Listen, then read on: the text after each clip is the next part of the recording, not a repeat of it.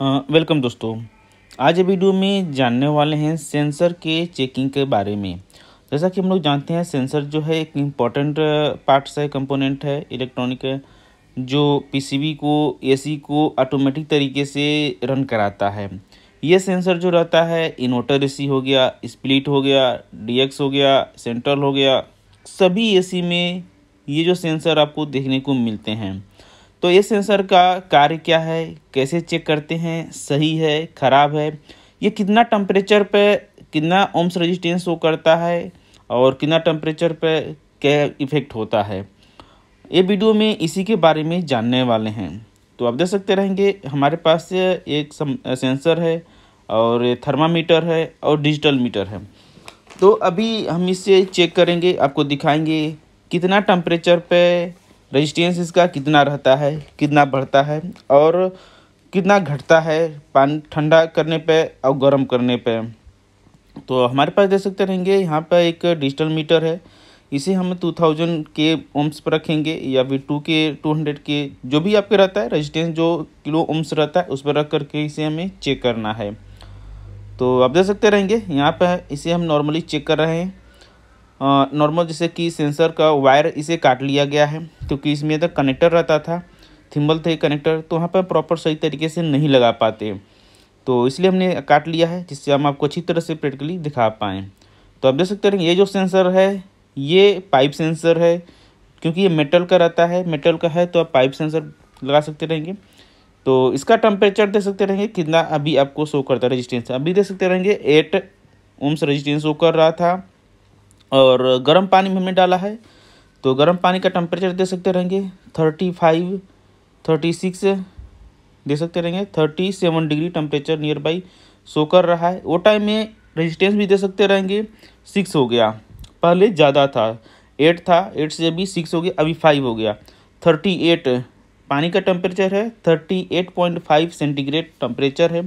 वो टाइम में जो है फाइव ओम्स रेजिस्टेंस शो कर रहा है। तो थर्टी एट डिग्री जो है पानी का टेम्परेचर सेंसर था पानी का जो टेम्परेचर था यानी कि गर्म था यानी कि आप समझ सकते रहेंगे सीधी सी बात।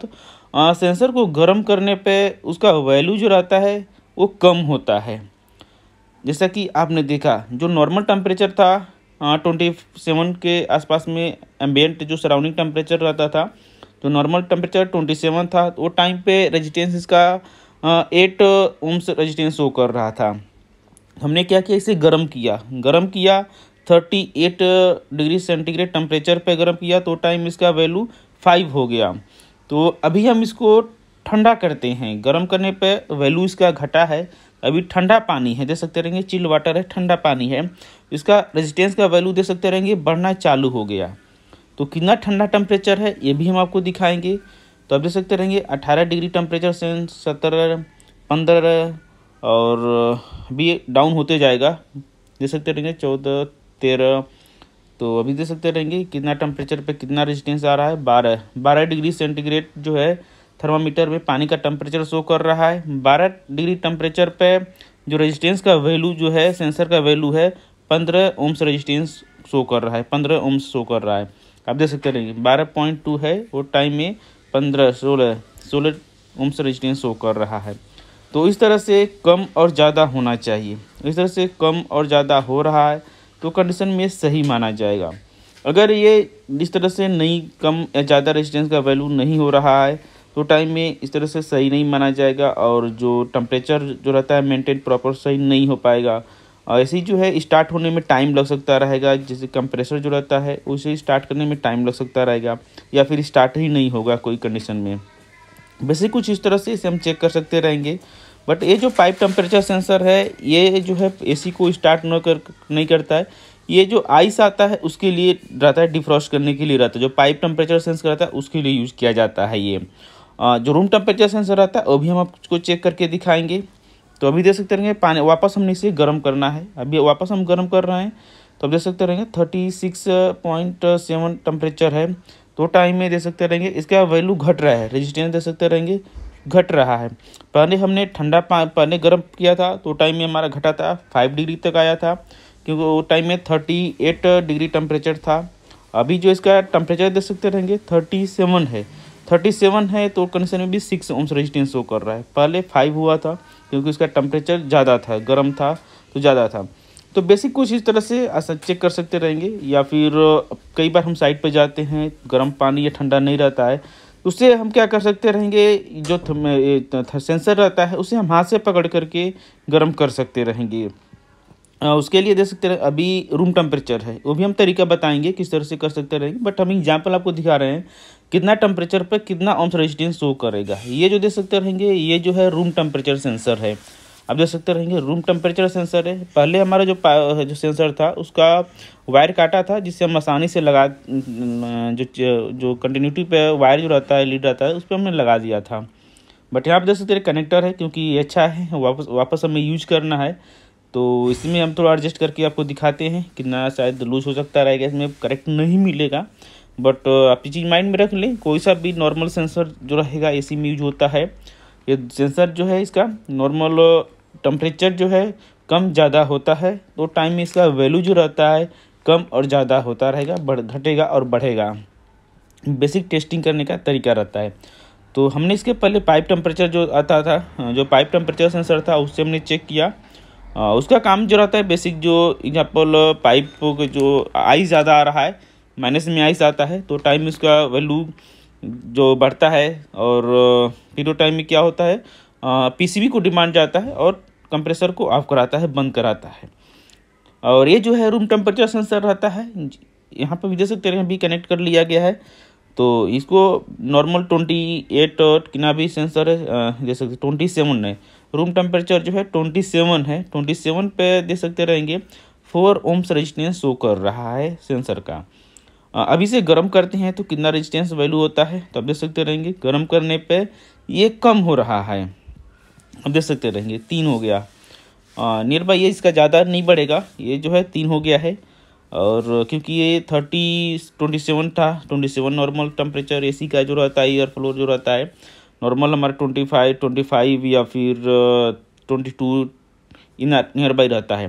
तो अभी ट्वेंटी सेवन ये पानी का टेम्परेचर भी शायद मे भी कम हो गया है। पहले थर्टी एट तक गया था, क्योंकि हमने इसको थोड़ा टाइम लगाया है। हमें नियर बाई दस पंद्रह मिनट के आसपास हो गया है पानी को। इसका टेम्परेचर भी कम हो गया है। पानी का टेम्परेचर बोले तो इसका near by thirty degree centigrade के आसपास हो गया रहेगा। तो टाइम में भी बढ़ा है।